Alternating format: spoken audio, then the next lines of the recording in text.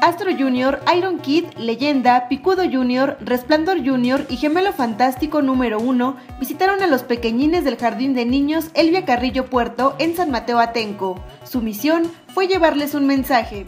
Nos dijeron que los portáramos bien, que nunca perdiéramos en la casa, nunca jamás. No hagan bullying, que respeten más que nada los valores en una formación académica y sobre todo deportiva. En este caso nosotros como deportistas y como luchadores tenemos que venir a darles un buen ejemplo y a una plática para que sean mejores niños y mejores seres humanos.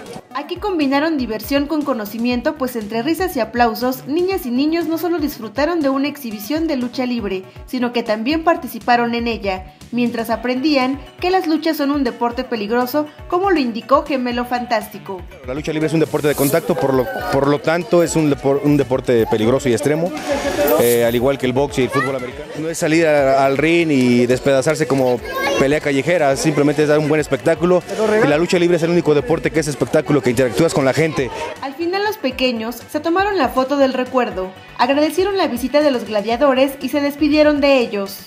Disfruten mucho sus vacaciones, que ya están en puerta y que eh, hagan mucho deporte, coman muy bien, obedezcan a sus papás.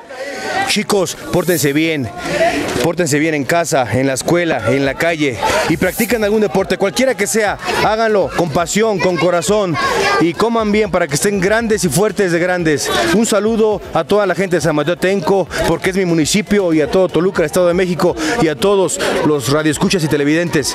Un saludo de parte de su amigo Gemelo Fantástico número uno. Con imágenes de Aaron Rodríguez, informó para Nuestro Mundo Karina López.